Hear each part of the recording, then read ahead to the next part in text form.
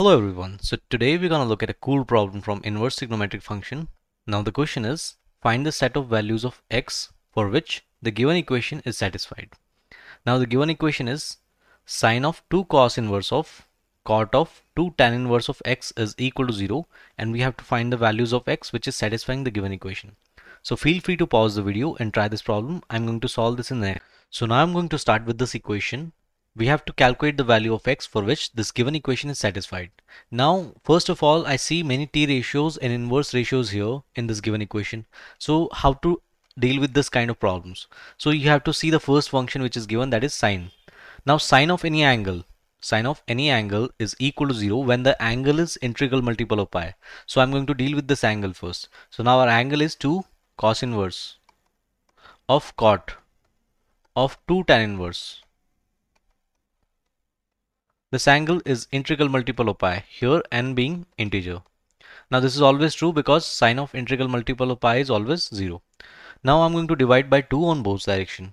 So I'll get this as cos inverse of cot of 2 tan inverse of x is equal to n pi by 2.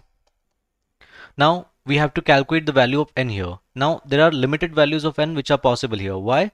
Because on the left hand side we have restricted range. That means the range of cos inverse of x if I want to write the range of cos inverse of x is 0 to pi. The range of this function. Now similarly if these two equations are equal then on the right hand side this value should belongs to 0 to pi.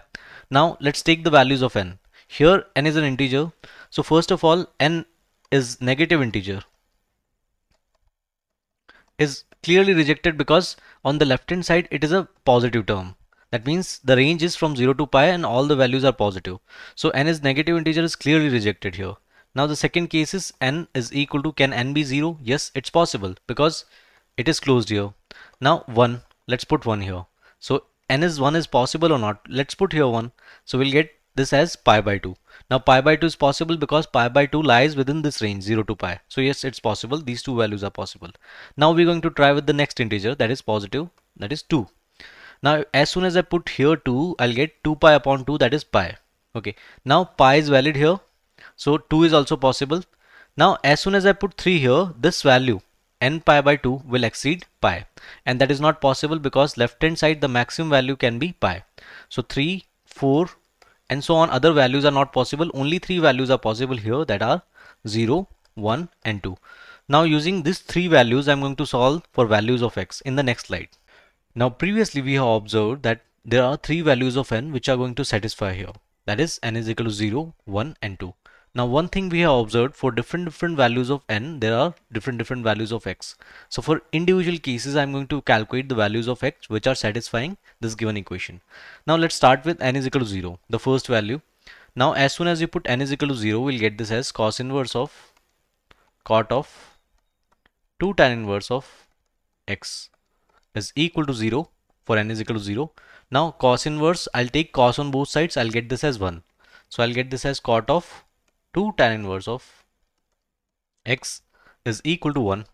Now if cot of cot of theta is equal to 1 then tan of this theta will be equal to 1 also.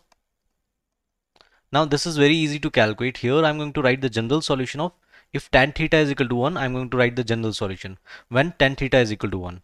That means we have 2 tan inverse of x is equal to m pi plus pi by 4 here m is an integer. So this is the general solution. Now I want tan inverse of x here. So tan inverse of x is equal to, I'm going to divide by 2 throughout the equation. That is m pi by 2 plus pi by 8. Now I'm going to calculate the value of x here. So we got this as tan inverse of x as m pi by 2 plus pi by 8.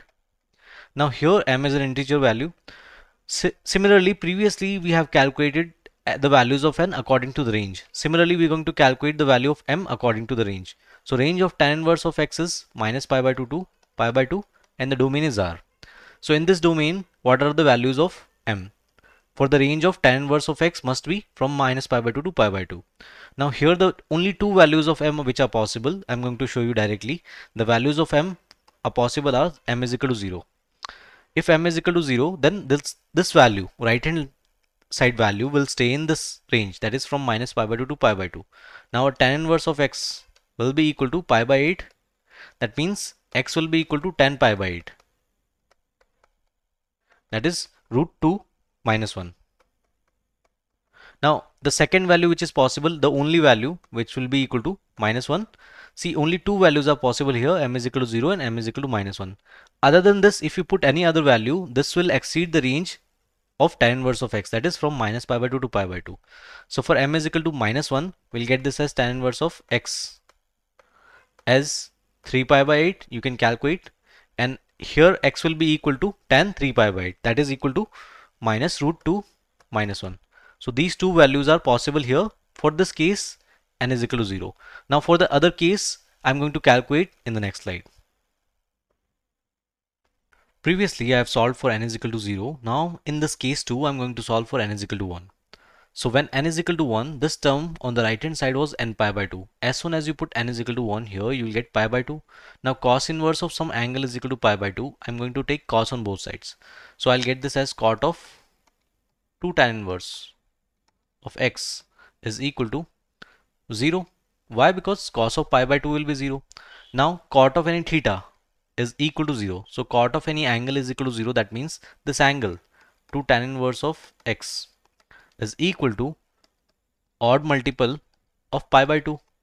Here n is an integer or let's say this is k because there will be no confusion. If I take this as n and n there will be confusion. So let's say this is k is an integer. Now the angle will be uh, odd multiple of pi by 2. Now from here can I write this as tan inverse of x as if I divide by 2 I'll get this as 2k plus 1 multiplied by pi by 4 now according to the range, the range of tan inverse of x is from minus pi by 2 to pi by 2 open. We have to assign the value of k.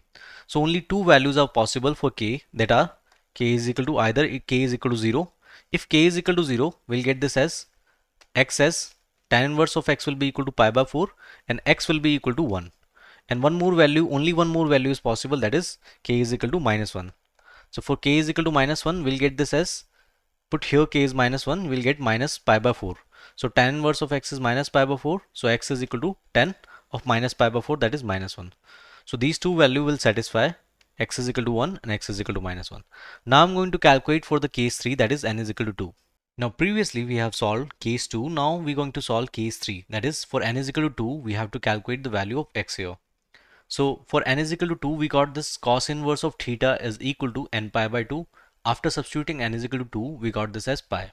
Now if I take cos on both sides, I'll get this as cos of pi and that will be equal to minus 1. So that this angle will be equal to minus 1. So that means cot of 2 tan inverse of x is equal to minus 1. That means the reciprocal of this is tan of 2 tan inverse of x is equal to minus 1. And why I'm writing this? Because it's very easy to write the general solution for tan theta. Now tan of any angle is equal to minus 1. I'm going to write the general solution. That is 2 tan inverse of x is equal to p pi minus pi by 4. Here p is acting as an integer. Now I want tan inverse of x. So I'm going to divide by 2 throughout. So tan inverse of x is equal to p pi divided by 2 minus pi by 8. Now there are values of p which is satisfying for this given range of tan inverse of x that is from minus pi by 2 to pi by 2.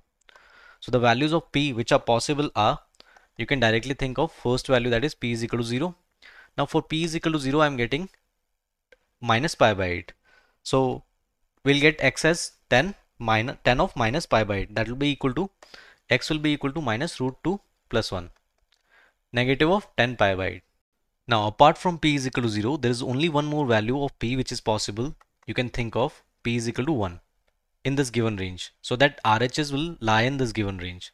As soon as I put p is equal to 1 here, I'll get this as pi by 2 minus pi by 8. That is equal to 3 pi by 8. And tan inverse of x is equal to 3 pi by 8. That will be equal to x will be equal to tan of 3 pi by 8.